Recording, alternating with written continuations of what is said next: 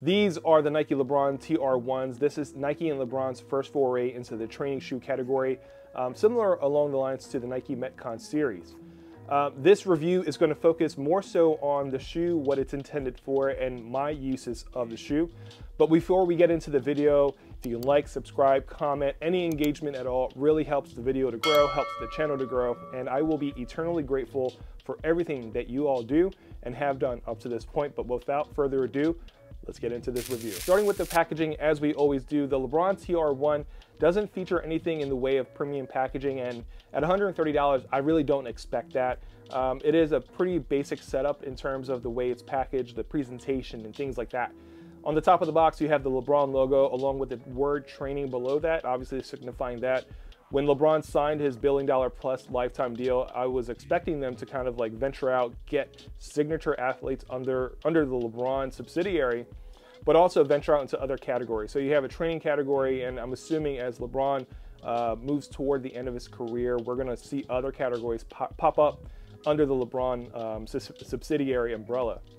But for the box itself, we have the big Nike swoosh on the front of the box. You have the LeBron signature and then the crown above that. That was something that I saw for the first time on the LeBron 19. And then on the other side of the box, um, you, you have again the LeBron crown logo. But overall, packaging for the LeBron TR1 isn't anything premium or surprising. Again, coming at $130, this is kind of what I expected. Now, when it comes to the design of the LeBron TR1, this is a training shoe through and through. This is uh, a no frills training shoe. So you have like an integrated uh, cable system that is in the upper of the shoe and that's obviously intended for maximum containment and fit. You also have your midsole foam that kind of wraps around the lateral side of your foot. And again, that's for containment. When you're doing your circuit workouts and things like that, this shoe will inevitably keep your foot on that footbed. Um, in terms of design features, you have the giant lateral swoosh that kind of resembles the upcoming LeBron 22. We got a preview of that at the 2024 Olympics in Paris, and I see the resemblances. This one's printed on. The LeBron 22 is obviously integrated into the upper. You have the LeBron crown logo on the laces, you have the LeBron crown logo on the tongue loop, and then you have a Nike swoosh kind of integrated into the heel tab. On the traction pattern, you actually have a LeBron crown logo integrated into that traction pattern.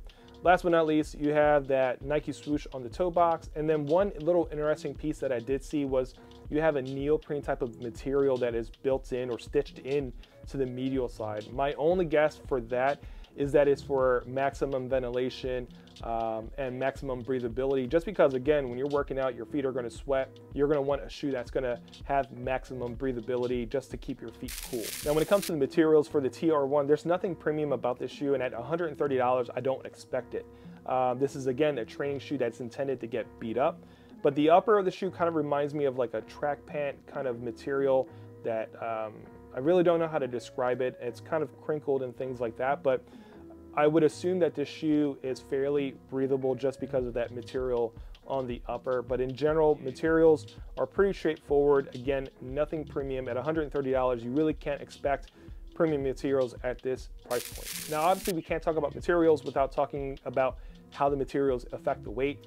This shoe in the size 12 comes in at 12.3 ounces or 350 grams on the nose. Um, I want to say that when I got these out of the box, I was immediately awestruck by how light these shoes were. It's incredibly light. So obviously, again, it's not featuring any zoom or anything like that. It's just foam and a synthetic upper. But obviously what they did was just save a lot of weight. And what that's gonna do is for the wearer, for the person working out, it's probably gonna give them maximum stamina just because they can work out longer and things like that without having these shoes weigh them down. Now over on the fit and containment side, this is a little bit of a tricky situation just because the LeBron TR1 features a one-piece upper. There is no elastic over the instep of the shoe, which will allow it to go on your foot a little bit easier. So my initial try-on was a little bit of a difficult shoe to get on at first, um, but every subsequent wear, it got a little bit easier. For me, I wore these pre-basketball and then I wore them as a recovery shoe after basketball. And again, they were like a one-to-one -one fit. I went with my true size. If you're looking for a size recommendation, again, one-to-one -one fit, you're gonna want to go true to size. If you want a little bit of room, half size, so whole size up, just to have that easier time getting the shoe on foot. From a containment perspective, the cable's integrated into the upper. The midsole that wraps around the lateral side of your foot are going to keep your foot on the footbed. And then the base of the shoe is pretty wide, so your, your foot is going to actually sit right in the shoe. When you're doing the circuit workouts and things like that, you shouldn't have any issues, again, with any containment. Capping things off with the cushioning of the LeBron TR1, there isn't any kind of air in this shoe. There's no max air, zoom air, anything like that. This is straight up foam. There isn't any designation of what kind of foam this is, um, even on the Nike website. So I think it's safe to assume it's probably like a Cushlon, something that's a little bit on the firmer side uh, with some give and some comfort because again, this is a training shoe.